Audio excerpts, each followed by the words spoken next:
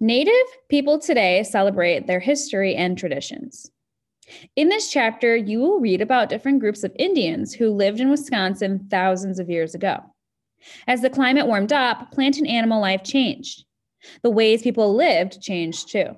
You will recognize these changes as you read through the chapter. Who are Wisconsin's first people? Native people have lived on the North American continent for thousands and thousands of years. Many different groups of Native people lived in the area that we now know as Wisconsin. Native people are also known as the first people. For example, the Menominee and the Ho Chunk people are two of the Indian nations in Wisconsin today.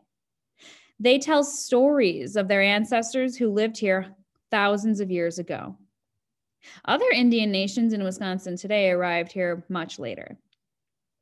The earliest Wisconsin Indians adapted or changed their way of living as the land and weather changed. This adaptation happened very slowly, as you can tell by looking at the timeline on page 38 and 39. You'll learn just how people's homes, foods, hunting, and ways of living adapted to the changes in the land and weather. Indian nations in the state today continue to adapt, yet they still honor the stories and memories of their ancestors. Each nation has its own language, history, and traditions. Each nation also has its own creation story that tells of the tribe's beginning.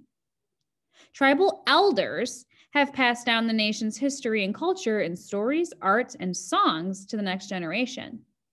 You'll read a Menominee story on the next page. Don't forget before we go to the next page, take a look at the map here. Notice how it is telling us about the Ho Chunk and Menominee lands. Up here we have Menominee people, and down low we have some of the Ho Chunk people. Maybe you've heard of Ho Chunk as a casino. I also notice on this map a red block for a Indian, or as we refer to now, Native American reservation. It's a little chunk of land that is just for the Native American people. I'll also notice on the bottom of the page some definitions here for words that might be new or challenging. For example, we have elders passing down nation's history and culture. Those are the older people in the tribe. Let's go to the next page and read the Menominee story.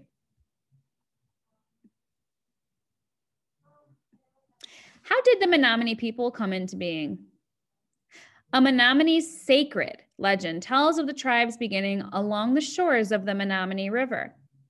First, the Creator made the world and all living things.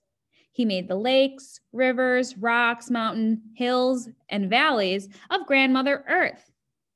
Then a light colored bear traveled along the banks of the river. He spoke with the Creator. The bear explained that he was lonely. He wanted to change his form. The bear wished to be a human being. The Creator agreed and changed the bear into the first Menominee. The first Menominee continued walking along the riverbank until he spied a golden eagle circling high in the sky. He called the eagle down and asked it to be his brother. The creator also permitted the eagle to change form. Now there were two Menominee brothers. Each became the head of a clan or a group of native people with the same ancestor, and their descendants became the clan. The two brothers came upon other animal spirits.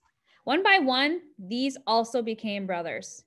Each clan has its own story and joining of the first two Menominee brothers.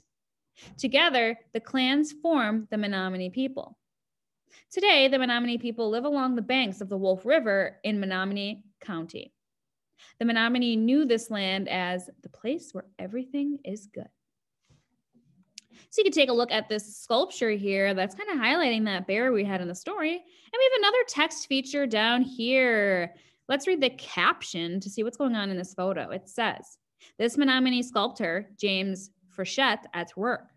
As a child, he listened to tribal elders tell stories of Menominee traditions. As an adult, he carved the light colored bear to the right you can see the Menominee clan story on display at the University of Wisconsin Stevens Point Library. All right, that's all we have for our reading today.